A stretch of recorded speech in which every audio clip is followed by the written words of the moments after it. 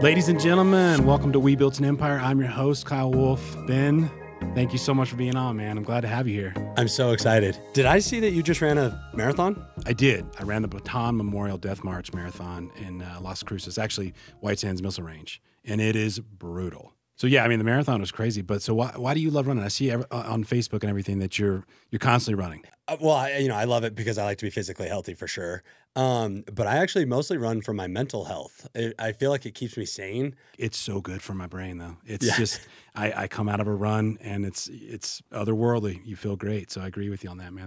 Where's your go-to training run? I'll go run the streets, which is not that fun in itself. But if you constantly take a left when you were supposed to take a right, and you end up somewhere, right? You get back to the house eventually. What about you? Do you have a favorite trail, or do you? What do you Yeah, so my office is on like Florida and uh, Canada Road 250. okay. So I love running up the valley on Canada Road 250. The Hermosa Valley is just gorgeous. Oh, running up there with the cliffs and everything is just amazing. I love coming down and like running Mill Street. You know, it's a, it's just neat. It's it's small town world, but um, you see a thousand people you know, and you're waving and running. And Yeah, I love it. Mill Street is the best, especially in the summertime. You could talk me into moving to Bayfield. yeah, yeah.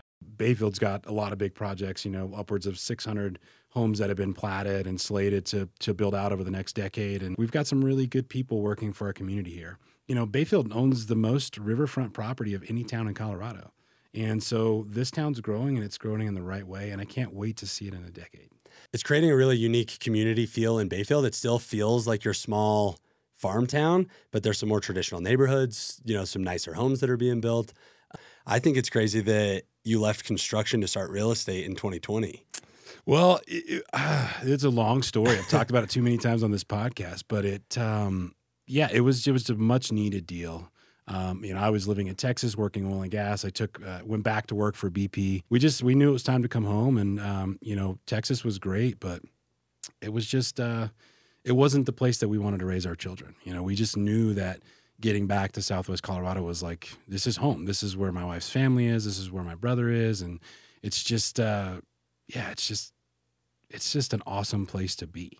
No I mean- doubt about that. Yeah. Yeah. Are you, so are you are you from here like originally? No, I wish I was. I got here as fast as I could, is what I tell people. Yeah. I actually came down to play football at Fort Lewis, studied marketing there, and I've been doing it ever since. But um, I tell people that I came down for football and stayed for everything else because it is such a special place. Yeah. I'm from Northeast Louisiana, and uh, we we came up here in March, spring break, stayed at Vicito, went to Purgatory, skied.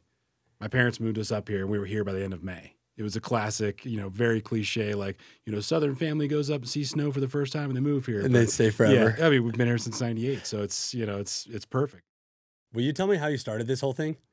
real estate really kind of led me down this path of getting to know random people. You get you get phone calls that you never expect, and you you kind of build these layers of relationships. At first, it's just a phone call, and then you know it's like six months down the road, you're dealing with these people, and you're riding in the car, and you're hearing about their children, and you're telling them about your children, and um, you you start to realize that uh, out of these random meetings in life that everybody's got these really nuanced stories even if they don't know it.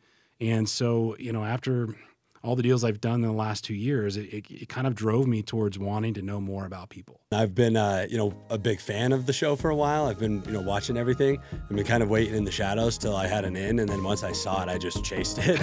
there we go I was like, I'm going to get on Yeah. that podcast. I wish it was that easy I with saw the opportunity. guest. I was like, hey, I'm, I'm going to go get out there. So thank you for having me. no that's my pleasure